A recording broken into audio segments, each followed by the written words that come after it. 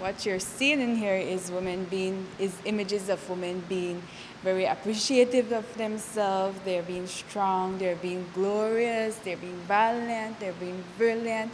Everything that is positive that you could find in a woman, you'll find in here.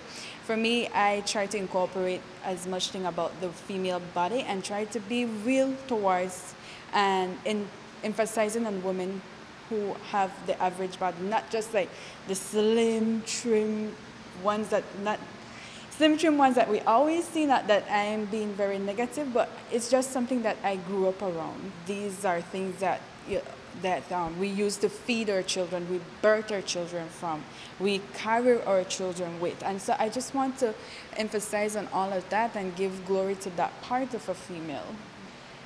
I prefer people to see and to explain what they see. But I haven't, other people would say it's a sandal, it's a vase over something, but it's, for me, it's a woman and it's emphasizing the, her legs, her hips. And you know, for me, that's, uh, that's where we come from. That's, that's where the child comes from. And that's like a reproductive part. The plants relates to the reproduction of women and the reproduction of children.